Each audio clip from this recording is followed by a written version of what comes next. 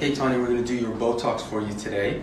The one thing that I uh, have developed over the last 10 years, um, since start, I started doing Botox in 2010, is that I like to mix Botox and Dysport, not in the same syringe, but in the same setting.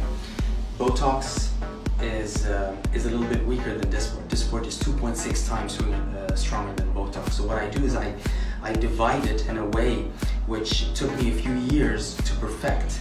And the thing that my patients like most is that it gives them a very natural result and it stays for about six months and sometimes, sometimes even longer than that. And this is what I'm gonna expect that you're gonna have, okay? So let's go ahead and start injecting.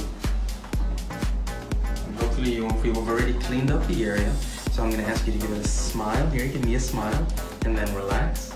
Just relax right there. All right, perfect. Now, this is the area where it needs to be nice and tight, so this is where I inject the Dysport. Botox, I'm gonna inject more on the forehead because you want the forehead to look more natural.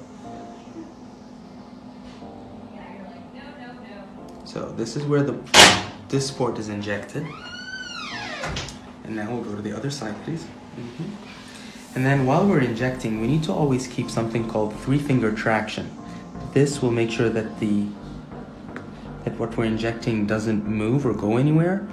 And also it reduces the amount of pain because we're putting tension on the nerve fibers while we inject. So this is another technique that's also very nice at making sure that my patients don't get any pain while we're injecting. Did you feel that? Did you get a lot of pain with that? Uh, did you inject me yet? Ah, all right. Well, yeah, we did. We did. We finished. Okay. Now, the, the other strong muscles are right here, and this is where we're gonna go with the Dysport, again, because Dysport is stronger. So I'd like you to frown, please. Give me a frown. All right, now that's the two muscles. All right, so we're gonna inject right there. We need to be about a centimeter above the brow because if the Botox goes or the Dysport goes down close to the eyelid, some people may develop what's called ptosis or where the, the eyelid will shift down. We don't want that. That's, that's a bad complication if that happens. All right. All right, Tawny, that's the first half. You've got to be kidding me. Yeah. It's a great technique. Oh my, oh my gosh, that was the, the most insane. I, I didn't even feel the needle at all. That's awesome. Great. And now get you to raise your brows for me. All right, perfect. So we want we want to give a natural lift here without getting you too frozen. Okay. So what we're gonna do is we leave this part of the muscle working and we inject right in here.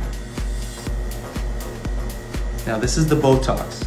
Okay. All right, and then we go, we need to be symmetrical on the other side as well. So we're gonna inject right there.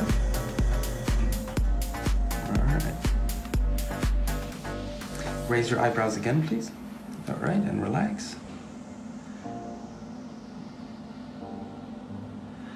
And then we're gonna get the frontalis muscle here, which is the muscle.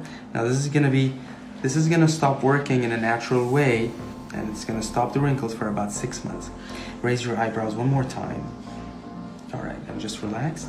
This is a little bit hyperactive on this area.